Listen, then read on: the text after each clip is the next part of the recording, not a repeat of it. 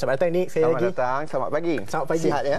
Alhamdulillah. Bagus-bagus. Okey Nick, kita ada dua komponen sekarang dalam perbincangan kita iaitu uh, pemilihan dan juga penjagaan perabot. Mm-hmm. Mungkin kita boleh mulakan dengan pemilihan dulu. Okey. Apabila seseorang itu masuk ke kediaman atau mungkin ingin membeli perabot baru, mm-hmm. apa faktor-faktor utama yang kita perlu pertimbangkan? Okey, senang aja.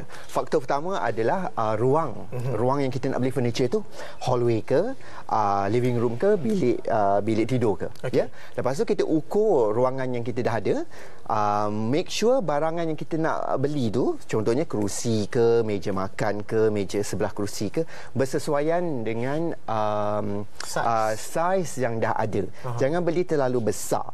Ya, jadi uh, yang penting inilah kalau kita pergi ke kedai uh, measuring tape ni penting dan juga nota sebab kita dah buat ukuran dan kita juga bila dapat ukuran kita tahu berapa besar uh, perabot yang kita nak gunakan. Betul. Contohnya two seater ke, tiga seater ke, uh, itu kita kena buat. Ya, ada orang yang membeli tanpa mengukur dan sebenarnya sangat bahaya kan? Sangat bahaya. Bila barang tu sampai dan tidak Ha-ha. boleh masuk dan Ya. akan mendatangkan masalah dari Ya. segi penggunaan ruang dan sebagainya. Betul. Kalau boleh bila dah dapat uh, ukuran bilik kita hmm. tu, kita bawa ke kedai. Ah. Jadi kata inilah ruangan kita. Sebab kalau kita orang yang tak tahu uh, berapa besar Ya. perabot yang kita nak ya. Hmm. Uh, jadi kita gunakan cara itulah. Jadi orang di kedai akan menolong kita membawa yang paling bagus. Tapi bajet itu penting.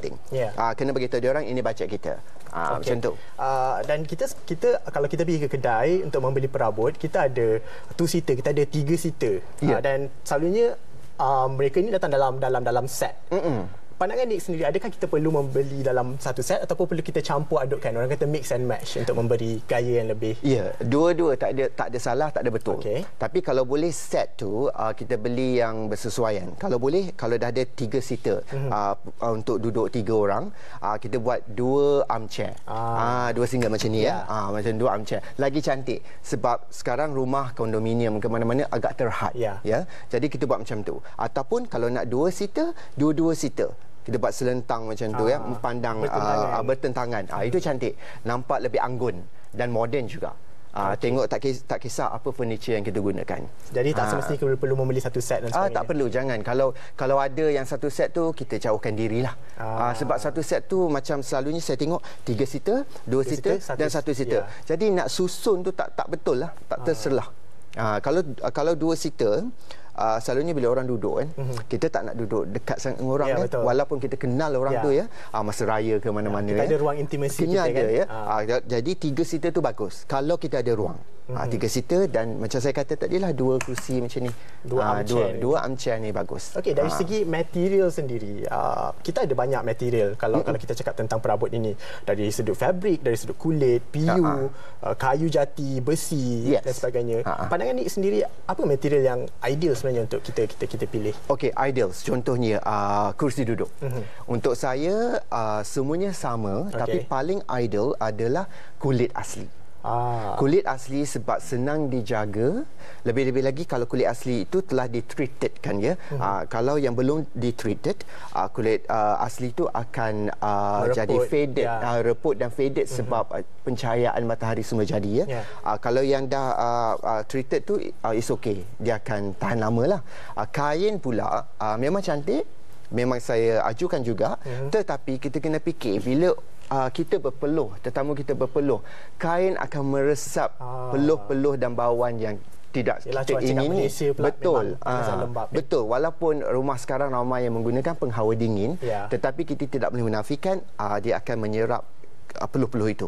Sebab kita pun kadang-kadang tak tahu ya seluar kita kita duduk kat luar-luar tiba-tiba terduduk pula ya. Ah, jadi kena hati-hatilah.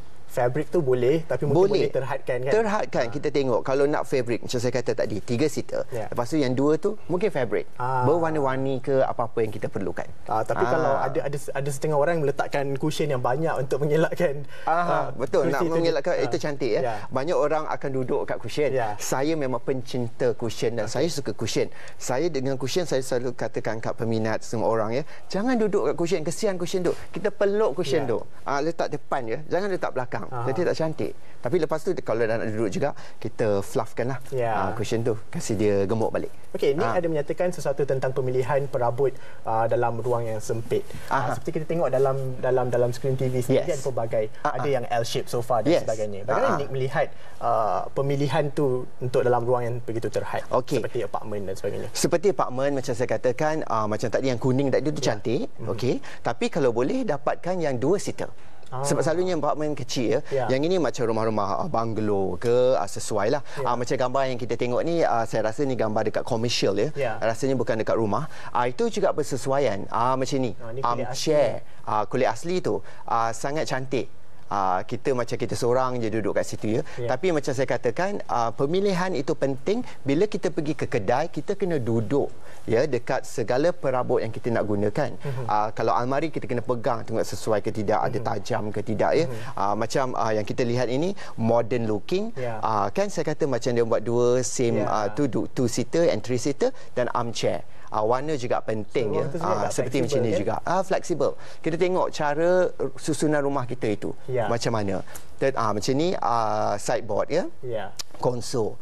Ah, dan kalau kita lihat pada gambar ini, Mm-mm. ada yang ingin macam saya cakap tadi, ada yang ingin menyimpan, mungkin ada mereka ada koleksi perabot mereka yang Ya. mereka ingin perbaharui. Ah, ah. Pandangan Nick sendiri, ada yang juga membeli daripada kedai terpakai. Ah. Pandangan Nick sendiri. Boleh. Uh, kalau nak beli uh, barangan terpakai ataupun barang yang kita dah ada, Mhm. uh, nak menjaganya kita polish. Selalu setiap minggu kita akan polish. Kalau yang berkayu tu kita polish. Tapi kalau uh, barang itu agak lama kita nak jadi makeover, Ya. uh, sebelum banyak orang nak makeover, Ya. kita cat. Aha. Okey, tapi sebelum cat tu kita kena uh, sandkan ya, uh, guna kertas pasir tu. Uh, tapi kena tengok furniture itu boleh dilakukan ke tidak. Ya. Selalunya uh, furniture kayu jati boleh. Ya, tapi kalau PV apa uh, laminate ke apa-apa uh, tak boleh lah. Mhm. Uh, so kena kita kena jaga dengan benda lain. Nak nak uh, fresh look untuk furniture yang sedia ada sepertinya uh, almari punya Ya. uh, drawer tu kita boleh tukar dia Kita punya handle. handle, ya. Uh, beli handle yang lain uh, kita letak. Uh, kalau kita tak boleh cat Ha, jadi buat macam tu lah Macam tempat atas tu Kadang-kadang atas almari kita memang tak boleh tukar apa-apa Tapi kalau kita ada duit sikit Kita beli papan yang baru Ataupun uh, tempah Letak di atas Okey. ha, Jadi nampak uh, wajah baru Diperbaharui lah. Diperbaharui. Ah, masih boleh digunakan. Masih boleh digunakan. Okey, mungkin Nick sendiri boleh memberi uh, sedikit nasihat lah atau tips-tips bagaimana kita dah membeli dan kita menjaga supaya kita dapat menggunakan uh, perabot kita dalam jangka yang masa yang lama. Ah, nak membeli dan jaga senang aja macam kita ada kerusi. Contohnya kerusi yang tadi yang kuning tu kan. Hmm. Saya rasa dia punya cushion tu dua-dua belah boleh diangkat ya, boleh Ya. dikeluarkan. So bila kita dah duduk, sebelum kita tidur malam tu, kita fluffkan dia. Hmm. Kita tepuk-tepuk. Hmm. Ya sebab uh, kerusi-kerusi yang mahal kebanyakannya uh, menggunakan uh, uh, bulu itik. Okey. Jadi bulu itik ataupun foam-foam kita kena fluffkannya. Okey. Ah ya, ah, itu bagus. Ah, furniture, ah, perabot. Kita polish perabot itu kita kebaskan setiap masa. Ya, sentiasa buat macam itulah. And untuk memilih ah, perabot juga, contoh kita berbalik kepada kerusi sebab kerusi ramai orang Ya, membeli betul. dan bertahan lama. Mm-hmm. Kalau nak beli kerusi, saya cadangkan beli yang berkaki. Ah. Jangan beli yang yang gemuk yang turun ke bawah yang Ya. tak ada kaki walaupun kaki kecil. Kita nampak nampak besar. eh. Nampak besar sebab yang berkaki macam ni yang kita duduk sini ya. Dia lebih ruang. anggun ya dan juga untuk membersihkan rumah begitu senang. Ah. Dan uh, contoh satu lagi yang saya katakan jangan yang uh, gemuk sangat. Ada sebabnya.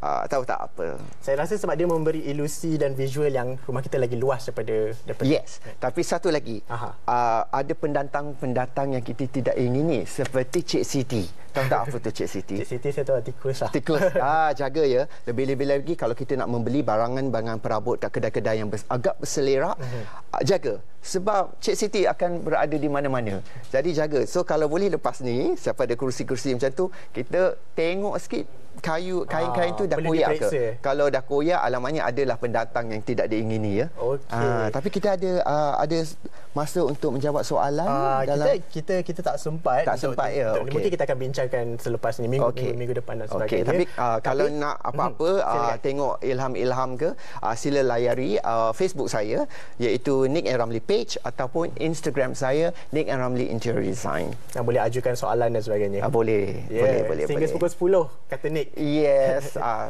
Okey, terima kasih uh, Nick sekali lagi berkongsi ilmu dan pengetahuan. Kadang-kadang benda ni nampak seperti mudah dan ringkas. Ya, tapi ya. sebenarnya ilmu ni kita perlu perbarui dan juga perlu. kita, kita ingatkan diri kita Definitely, sendiri. uh, perlu.